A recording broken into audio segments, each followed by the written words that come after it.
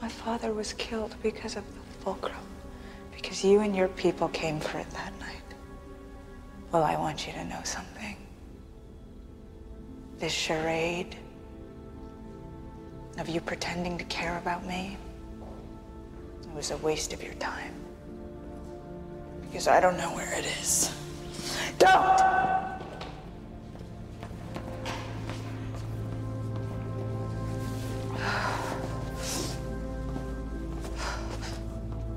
Mommy! Max! Ah! Are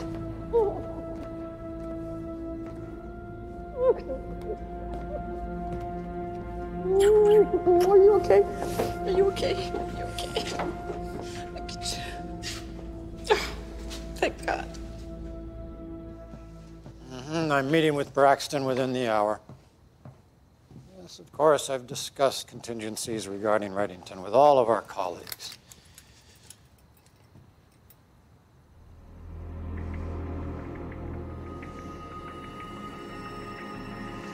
I'm going to have to call you back. You wouldn't believe how much he weighs. Sit. Do you have any idea who I am? Yes. I know just what you are. Sit the hell down.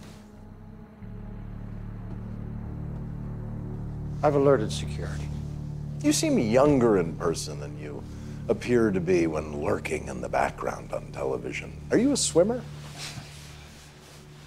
I'm someone not to be trifled with. Hmm. Then we have something in common.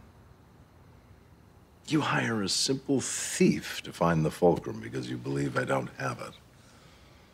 So I return him to you, defects and all, to make it abundantly clear that you should never again doubt who I am and what I have.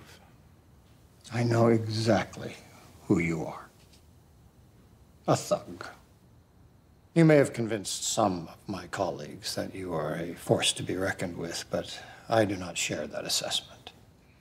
So consider yourself warned.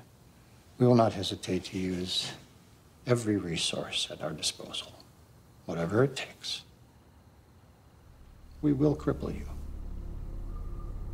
I don't think you have any real comprehension of the depth and breadth of your vulnerability. But only the one who possesses the fulcrum could possibly fathom that.